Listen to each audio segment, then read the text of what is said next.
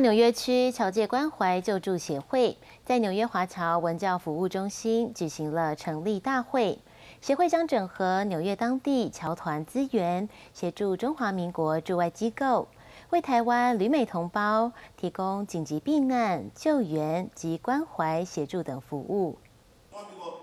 大纽约区侨界关怀救助协会在纽约华侨文教服务中心举行成立大会，协会全体理事、监事及多个纽约侨团侨社的代表皆出席。协会理事长王金志与会长罗淑华陆续发表言论，表示协会将整合大纽约地区的侨界资源，为台湾旅美同胞提供紧急避难、救援及关怀协助。这个协会成立最大的目的，就是响应我们中华民国。台湾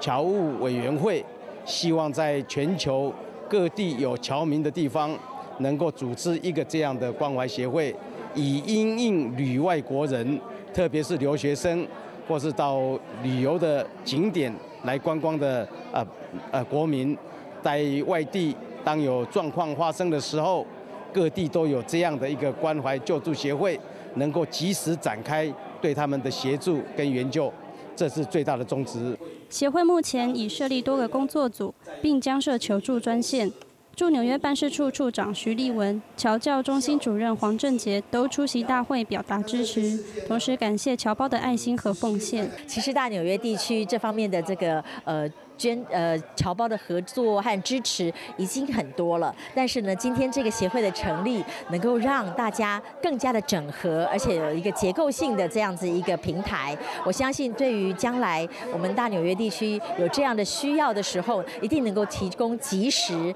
而且有效的帮助。那我们海外国人呃，在一个地方哈，呃，人生地不熟。可能会呃有一些意外的事件，可能会很多需要我们呃支援的地方。那我们的侨社的力量已经活跃了这么久，他们的呃侨社的网络把它建立起来之后，就可以协助我们的海外的这个旅外的国人呢，在发生时发生第一时间发生一些需要紧急救助的时候，我们要伸出援手。展现我们的侨界的力量，帮他们渡过难关。除了纽约外，洛杉矶、佛罗里达等多个美国地区已相继成立关怀救助协会，未来希望能有更多区域侨界加入。台湾宏观电视唐城，美国纽约采访报道。